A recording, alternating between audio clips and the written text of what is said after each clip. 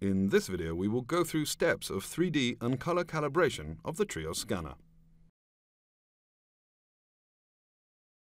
By default, it is recommended to calibrate every 7 days. However, if you have a more extensive amount of scans, you should calibrate it more often. The scanner should always be calibrated after it has been moved, shaken or sustained wide-range temperature changes. If calibration is not done for 7 days, the Trios application will automatically remind you about it. A message for a missing calibration type will appear on the screen upon opening a new order, as I will show right now. There are two ways of initiating calibration, from this message or in the settings page. Although it is possible to dismiss it, it is not recommended to ignore these warnings.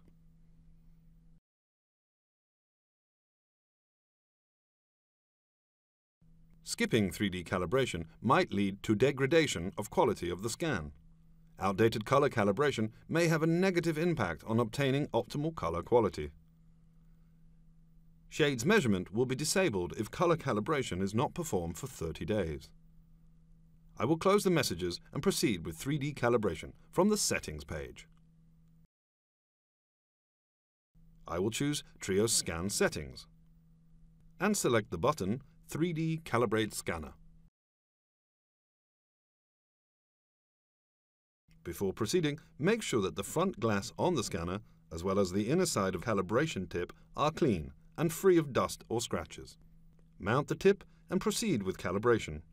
It will take up to one minute.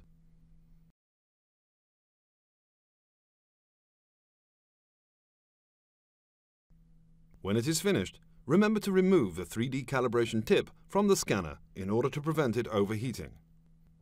As soon as 3D calibration is completed, you can proceed with color calibration.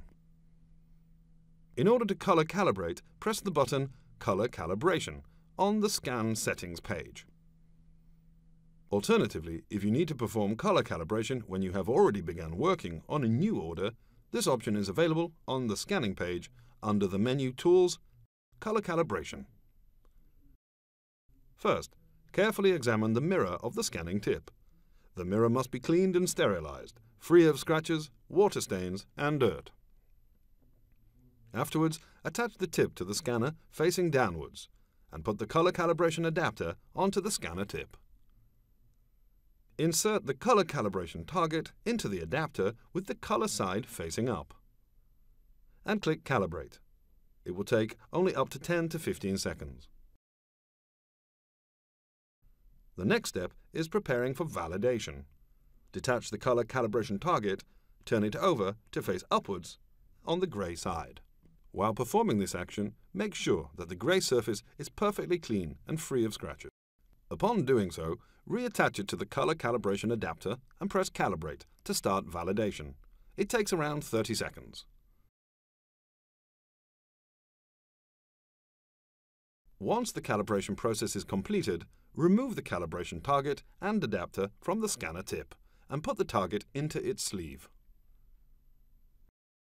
The grey side of the color calibration target can also be applied for 3D calibration.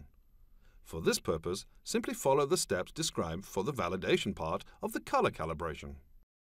Now you know how to prepare and perform 3D and color calibration of the Trios scanner. You can also find this information in the relevant section of the user manual. Thanks for your attention.